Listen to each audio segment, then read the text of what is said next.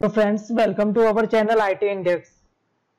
In Linux series, we have decided that we should provide you all industry based videos. Okay. So we have chosen one of the most burning problem that we face in the Linux environment. Okay. From now we will provide you the troubleshooting videos in Linux environment. Okay. This is troubleshooting video part 1.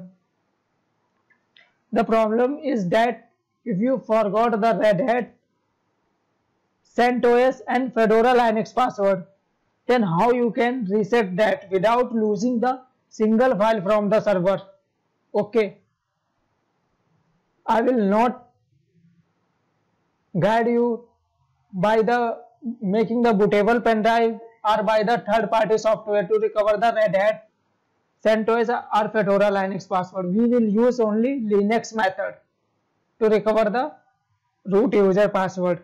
Okay, without losing the single file from the server. It is most important. Okay, now we are going to our Red Hat server. Okay, and try to log in with the root user.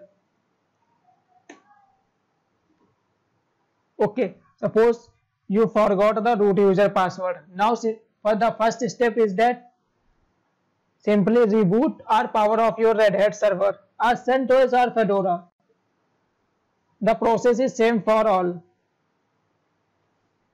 Power on your server.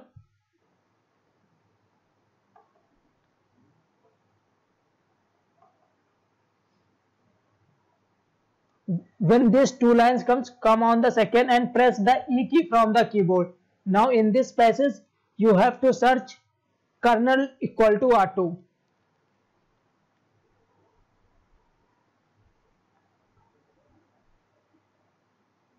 Now below the cursor you see that it is written kernel equal to R2. Come at the last of this passage and simply type rd dot break dot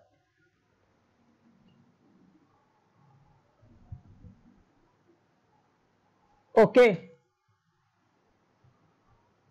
rd dot break and press the control x from the keyboard.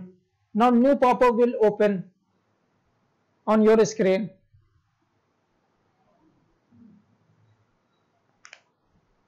It will take some time because it is the process on boot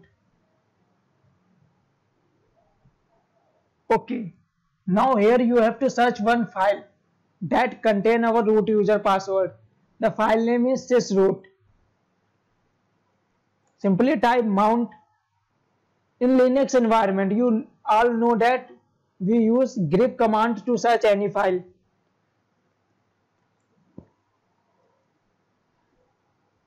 Okay, the command is mount space pipe grep and sysroot press the enter.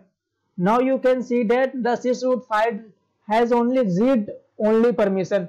You have to provide it read and write also permission. Okay. So for that you simply type the command mount hyphen o and remount. Remount. Comma and the permission read write. Okay. And slash sys root. Okay. Please do not make the spelling mistake.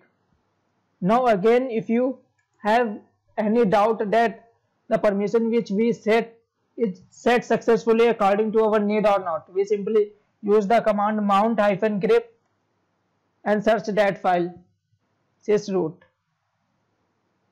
okay. Now you can set see that the file permission is changed read only to read write now simply use next command sysroot slash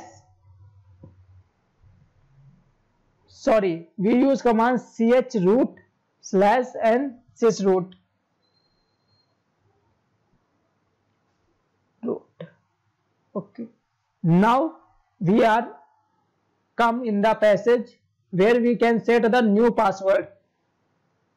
then use command pass wd you all know in linux environment we do not use the password command. We use pass wd command and enter. Now you can set the new password here.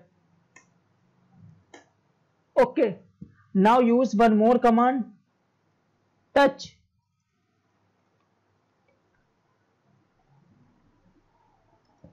slash dot a u t o auto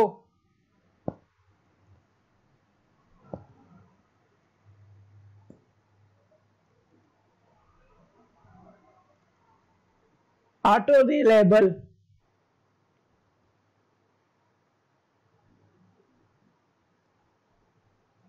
okay do not make spelling mistake i am telling again and again otherwise the process will terminate okay sim press enter and exit from there. Now log out.